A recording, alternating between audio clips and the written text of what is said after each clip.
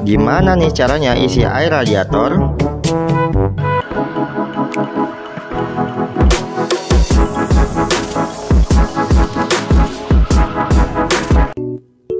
Halo guys, masih bersama saya Ayah Noki. Ini dia cara isi air radiator Honda PCX 150. Untuk melihat kurang atau tidaknya ada di bawah kanan bagian kaki sini ya. Upper berarti full, kalau lower berarti kurang atau jangan sampai kosong juga ya. Di sini saya cuma mau kasih tahu cara isinya aja. Nah, pertama kita buka karpetnya.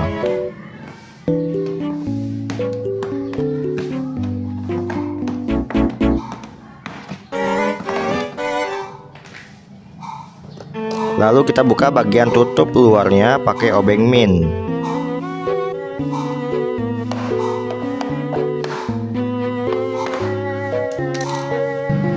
Di dalamnya ada karpet penutup, kita buka juga ya.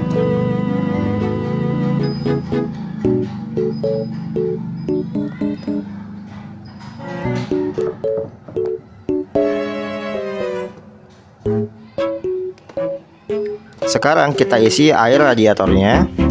Jangan sampai berlebihan juga ya. Kalian juga bisa pakai corong biar nggak tumpah-tumpah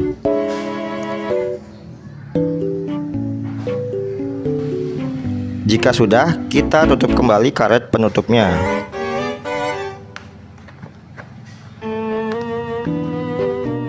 Lalu kita pasang juga penutup luarnya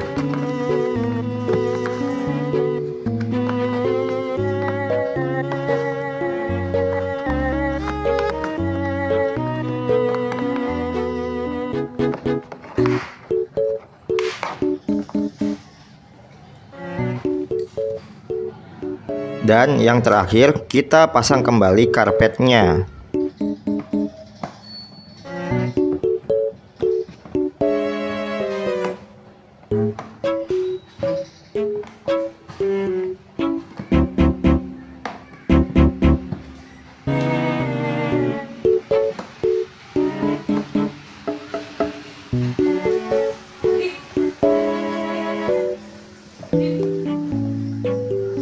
Oke, sekian dulu video kita kali ini. Semoga sangat bermanfaat.